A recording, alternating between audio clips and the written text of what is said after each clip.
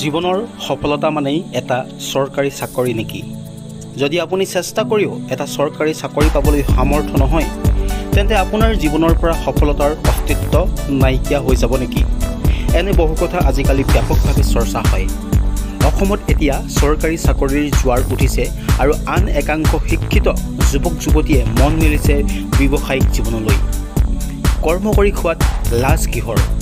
ভোক আপোনাৰ পৰিয়াল আপোনাৰ টকা আপোনাৰ জীৱন আপোনাৰ। তেন্তে লাজ আনৰ বাবে কিয়? কৰ্ম কৰি খোৱাত লাজ বোলা ধাৰণাটো অসমত লাহে লাহে বহু শিক্ষিত যুৱক যুৱতীয়ে সলনি কৰি দিবলৈ চেষ্টা কৰিছে। উচ্চ শিক্ষিত হ'ল মানেই যে ব্যৱসায় কৰিব নোৱাৰা সেই ধাৰণাও সলাব বিচাৰিছে একাংশ শিক্ষিতই।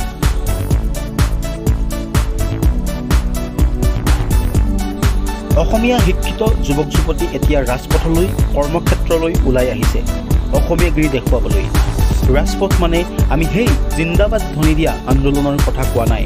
আমি ৰাজপথত গঢ়ি তুলিব পৰা কৰ্ম আন্দোলনৰ কথা কৈছোঁ। গুৱাহাটীৰ দীঘলী পুখুৰীৰ পাৰৰ পৰা শদিয়ালৈকে বহু শিক্ষিত যুৱক যুৱতী এতিয়া ওলাই আহিছে কৰ্মৰ মাজেৰে অসমীয়াগিৰি দেখুৱাবলৈ।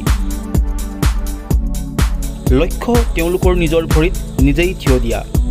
এখন সৰু চাহৰ দোকানৰ আলম লৈ আমি আপোনাক আজি এনেবোৰ কথা কৈছোঁ।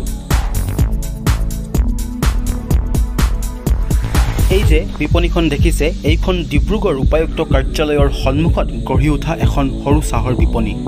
বিপণীখনৰ নামটোৱেই শুনিবলৈ অতি শুৱলা কেটলি। কেটলিক জন্ম দিছে ডিব্ৰুগড় বিশ্ববিদ্যালয়ৰ প্ৰাক্তন ছাত্ৰী চিন্ময়ী সোণোৱাল আৰু বন্ধু বিষ্ণু বাগলাৰীয়ে। দুয়ো বন্ধুৱে মিলি স্বাৱলম্বী হোৱাৰ লক্ষ্যৰে আৰম্ভ কৰিছে চাহৰ বিপণীখন।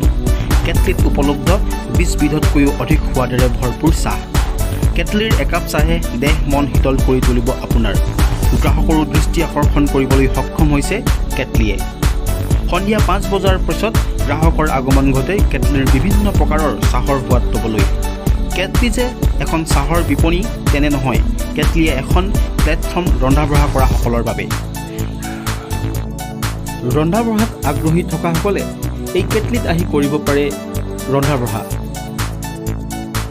দুই উচ্চ শিক্ষিত যুৱক যুৱতীয়ে আৰম্ভ কৰা এই কেটলিয়ে ইতিমধ্যে ডিব্ৰুগড় চহৰত জনপ্ৰিয়তা লাভ কৰিবলৈ সক্ষম হৈছে।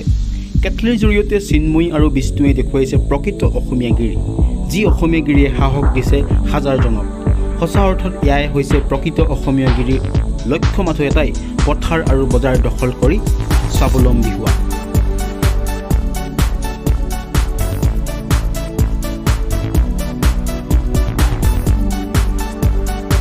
ডিব্ৰুগড়ৰ পৰা ৰক্তিম দাসৰ প্ৰতিবেদন লোকেল এইটিন